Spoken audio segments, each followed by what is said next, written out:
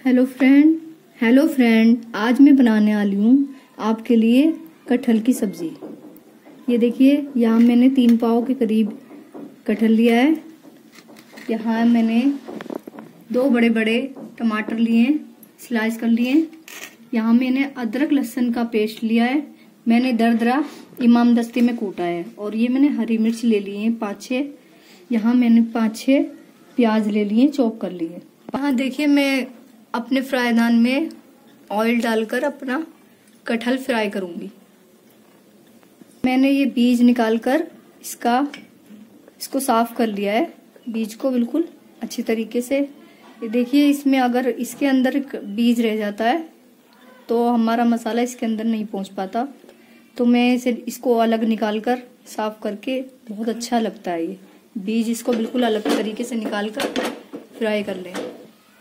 अब ये हम फ्राई कर लेंगे इसमें।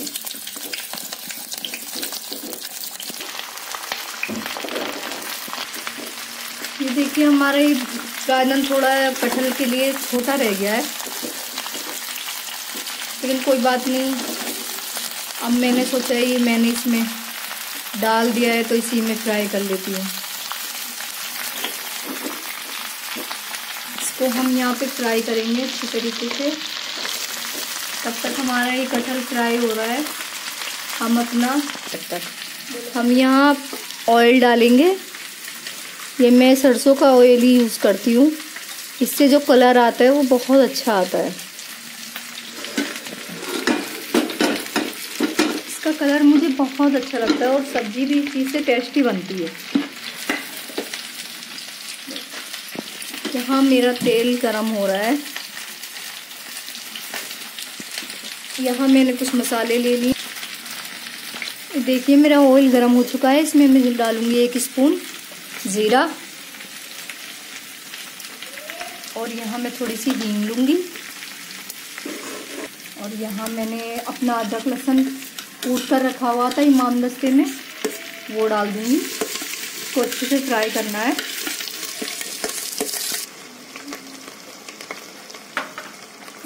अच्छे से भून लेंगे।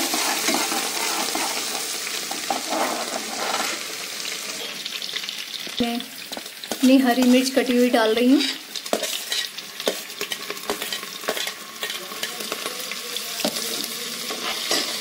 और यहाँ मैं स्लाइस की हुई चॉप की हुई प्याज अपनी मैं डाल दूँगी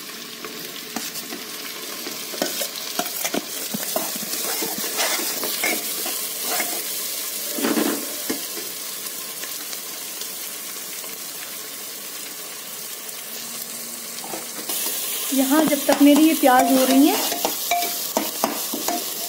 तब तक ये अच्छे से थोड़ी सी डीप ब्राउन हो जाए। तब तक मैं अपने ये कटहल को चला लेती हूँ। इसको देखते रहना, ये अच्छे से फ्राई हो जाए और नीचे ताकि ये लगे ना। इसको अच्छे से फ्राई करेंगे। खाने में बहुत ही अच्छा लगता है।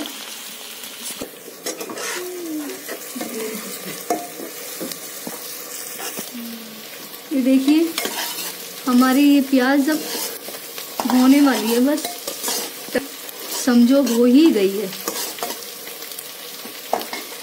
ये अब मैं इसमें अपने चॉप किए हुए टमाटर ऐड करूँगी।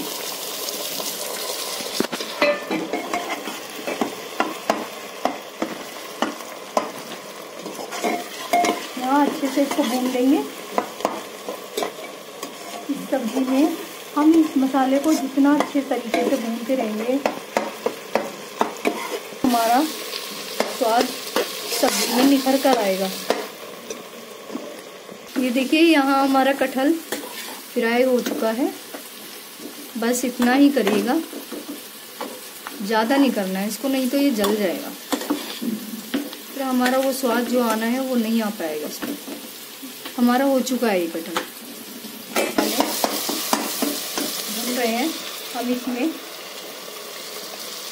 हल्दी ऐड करेंगे। वन टीस्पून हल्दी पाउडर स्पून रेड धनिया पाउडर। और स्वाद अनुसार नमक। कुछ से खिलाएँगे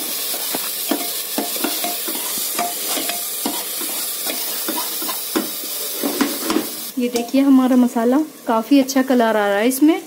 और खाने में भी बहुत अच्छा लगता है ये। इसका कलर देखिए, माशाल्लाह से बहुत ही लजीज आ रहा है। ये देखिए, बस भुनना पर मसाला हमारा, भून चुका है।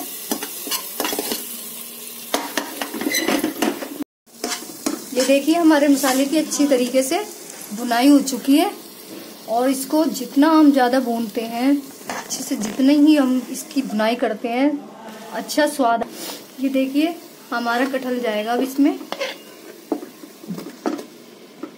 हमने ये फ्राई करके रखा था, अब हम इसमें ऐड कर देंगे।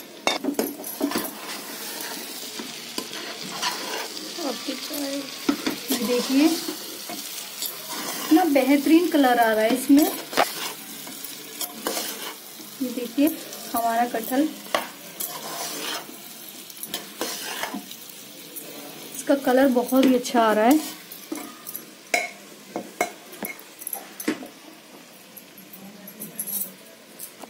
इसमें लाओ मैं एडिटिंग कर ना मैं इसमें थोड़ा पानी ऐड करूँगी आधे गिलास से भी कम।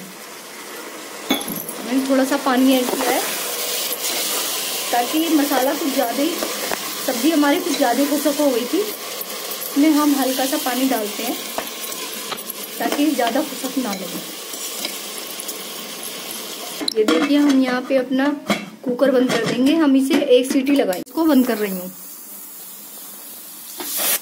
यहाँ मैं अपना कुकर खोल रही हूँ। मेरी सब्ज़ी बनकर रेडी होगी। ये देखिए, कितना अच्छा कलर आया है। ये देखिए, मैं सर्व करके आपको दिखा रही हूँ। सब्ज़ी अपनी, ये देखिए।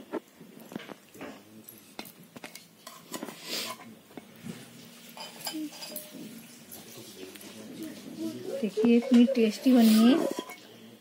यहाँ आप खाएँगे इसको और टेस्ट बनाइएगा ज़रूर आप घर पर अपने। बहुत ज़्यादा लजीज लगती बहुत ज़्यादा टेस्टी बनी है। पराठे के साथ, कुलचे के साथ और भटूरे के साथ आप किसी भी चीज़ से, नान से ले सकते हैं। बहुत ज़्यादा टेस्टी लगती है।